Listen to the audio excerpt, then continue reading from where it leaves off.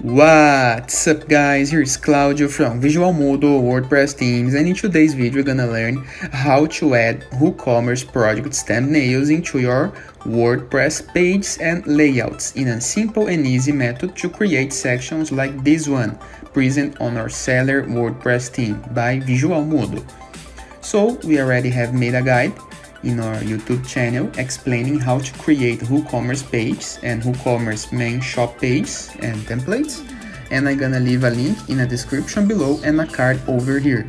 So you can create pages with your products only like this one in the example here the Shopee right with the products, the sidebar, the default WooCommerce plugin template look but how to apply WooCommerce products in, into your layout.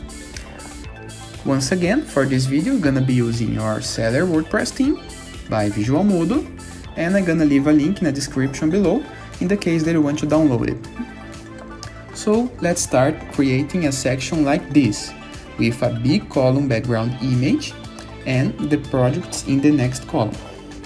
I'm gonna leave a link in the description below and a card over here for a guide explaining how to apply background images inside columns.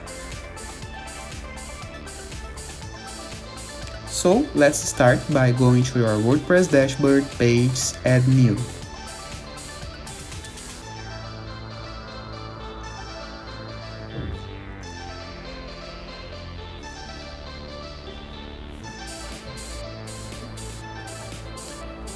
For this guide, we're gonna be using the WPBakery Page Builder plugin,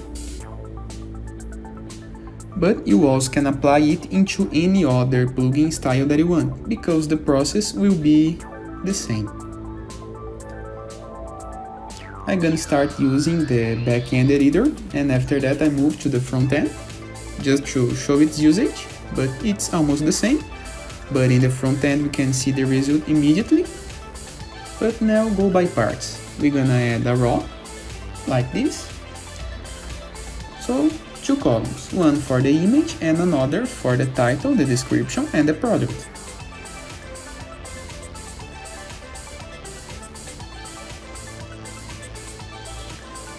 So in the row layout, we're gonna change to two columns layout. And in the first one, we're gonna click in the pencil button to edit the column. Column settings, we're gonna move to the design options and click on the green plus button so we can upload our image, our column background image.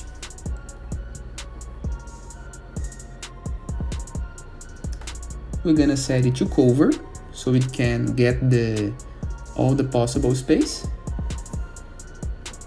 And let me click here in the simplify controls so we can add zero in the padding, the border and the margin. So the image can occupy all the possible space. And I will not forget to click on the plus button inside a column to apply an empty space. This is important for mobile navigation, so the mobile can see the column behind the content and show it. Now we're gonna move to the other column and add a text block. We're gonna make it simple and use a unique text block for the title and description. Click on the plus button inside this column and move to the WooCommerce tab, Elements. And on this, we're gonna add the product. Sorry, the products. We're gonna change to two columns and let's leave this by default so we can move ahead. Let me show what happens if you do not select what projects you are gonna call.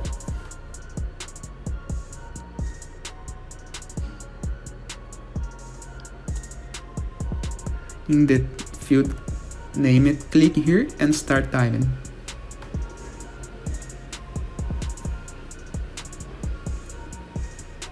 Let's check our layout. By default, the projects call all your shop projects, all the projects that you have created into the WooCommerce plugin pages. But we just want two of our projects in this section. How to do that?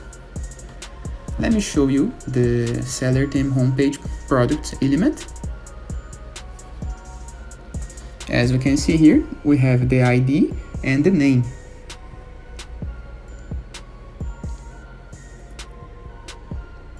You can see your project name here in WordPress dashboard products. You'll see a list of your all your products and we're gonna copy this name.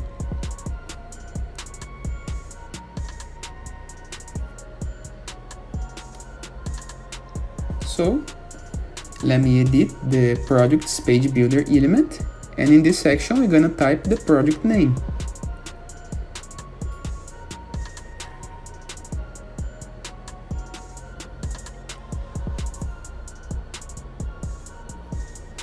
We just want two projects in the section, so these two are gonna work. Let me preview.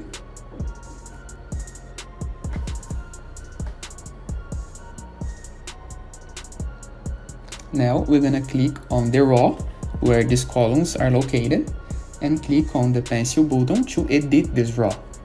Inside the raw settings, we're gonna set the straight raw with no paddings. So we can create a full widget section. But there is no space between the columns.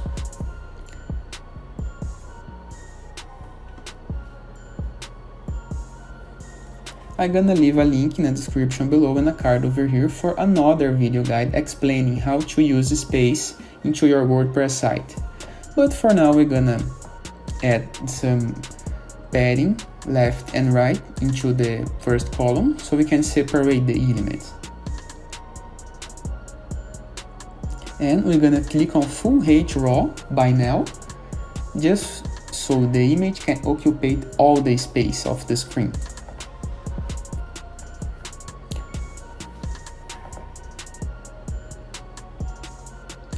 Let me make the padding left and right a bit bigger.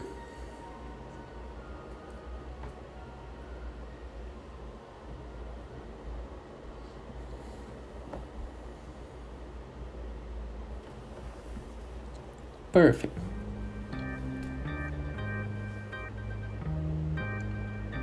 Now we're gonna click in the clone so we can clone the raw and create a second one so we can play with there is some space between the columns and the raw itself and we, we want to remove this space. How to do that?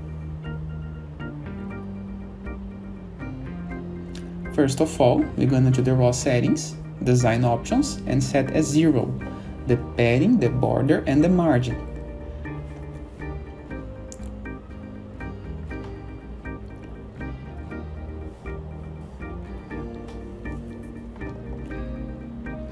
and after that do the same with the top section of the second raw. Let me preview. A little smaller, but we need we still have the space and we need to remove it.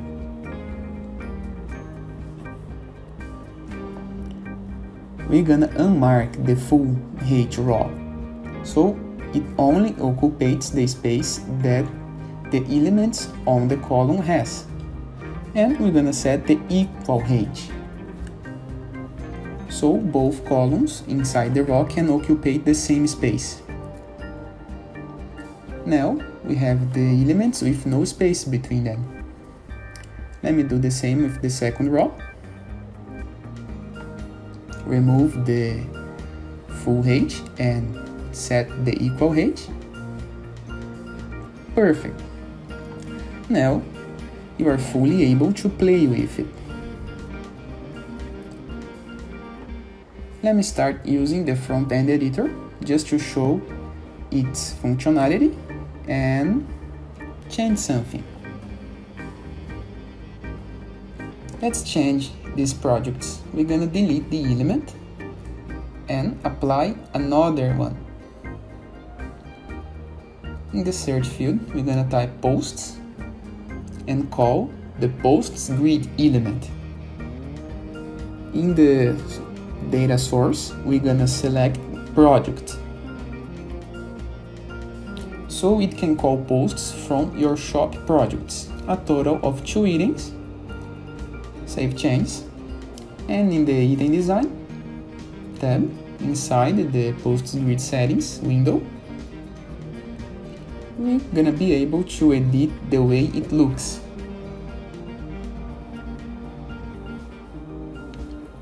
Like this. Very easy to create different sections and combinations.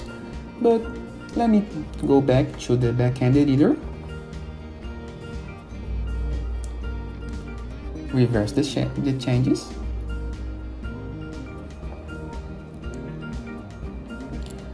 change the column background image for the second row.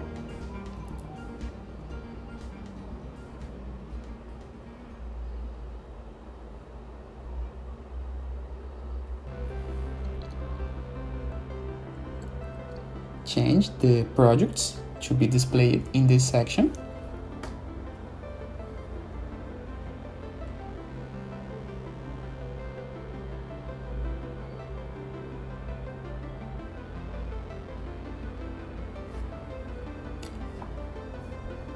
Let us preview.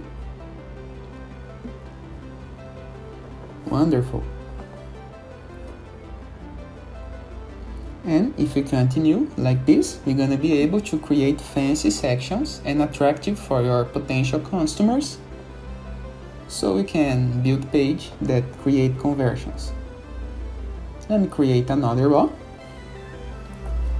and call more projects, but now using the posts grid like I did in the front end.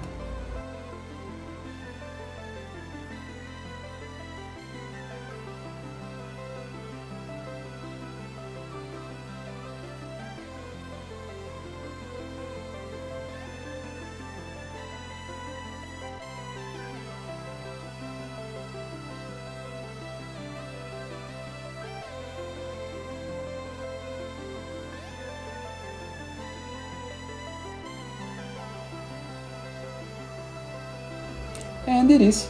I hope you guys enjoyed this video. Feel free to use the comment section below in the case that you have any question. Don't forget to see the Visualmodo WordPress themes portfolio of themes on visualmodo.com and I see you later. All the best!